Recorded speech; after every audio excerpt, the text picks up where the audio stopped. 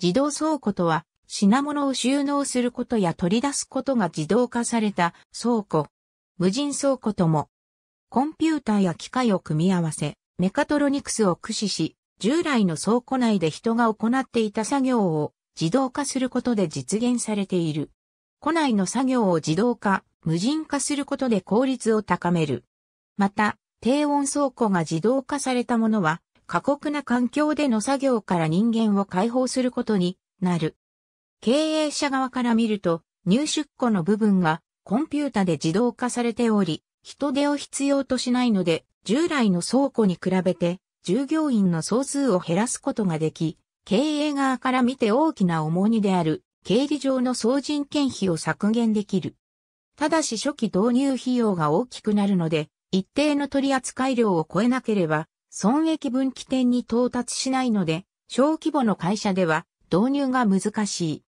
収納効率に関しては、従来の倉庫では人間が棚の位置まで行き品物を取り出すので、棚はおおむね人間の持つ分類概念に沿うような形で配置されなければならなかった。品物は入荷したり出荷されたりし、日々増減があるので、従来の倉庫では、あらかじめ配置される各カテゴリー用の棚の一つ一つから品物が溢れて通路に置かれて、動線の邪魔になったりしないように、各棚の大きさは余裕を見て設定しておかなければならず、結果として大抵の倉庫では一つ一つの棚に空きスペースばかりができ、倉庫全体の収納効率が低くとどまりがちになるという欠点があった。だが自動倉庫ではデータベースを利用することで人間の分類概念にこだわらず、ある商品その棚位置の関係を大量に記憶し、自動に取り出すことができるようになったので、従来のような棚を人間の概念構造に合わせて整列配置しなければならないという物理的制約からも解放され、純粋に物理的に収まるかどうかという点だけを考慮して一つ一つの棚にほぼ物理的な限界まで品物を詰め込むこともできるようになり、倉庫全体の収納効率を上げることも可能になった。ただし、自動倉庫は停電時には全く機能しなくなるという欠点はある。様々な分類法がある。一つは入庫、出庫の物理的な方式による分類である。それぞれ床上型、懸垂型、天井クレーン型がある。パレットが分類されるようになった。RF タグやバーコード等で保管場所からボタン操作で取り出すことができるようになった。今や一種のサプライチェーンマネジメントである。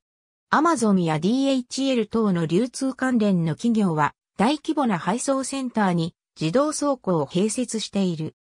アマゾンの場合、アマゾン川崎フルフィルメントセンターでは2016年12月からアマゾンロボティクスというシステムを導入しており、これは商品を保管している四角い棚が非常に多数あり、それをドライブという自走式ロボットによって動かすものである。ドライブは形状としては家庭用掃除ロボットのルンバを大型化したような形をしており、秒速1.7メートルほどで動くものである。このドライブが棚の下に潜り込んで、下から棚を持ち上げて移動するのである。ドライブは AR エリアの床に埋め込まれたバーコードを読み取ることで位置を把握しながらエリア内を行き交う。ざっくり言うと、スタッフたちが立ち作業をするためのエリアと、のっぽな棚ばかり大量に集められている収納エリアとに分かれている。AR システムは非常に多数の棚一つ一つのどの位置に何が収められているかデータベースによって記憶している。客から注文が入る。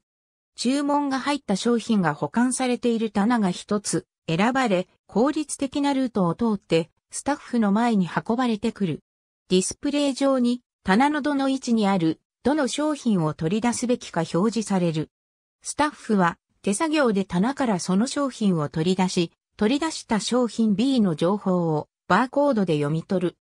スタッフは AR システムによって次々と棚が目の前に運ばれてくるたびに、一つの箱に商品を入れてまとめていく。梱包作業の担当者に向けて箱を送り出す。ありがとうございます。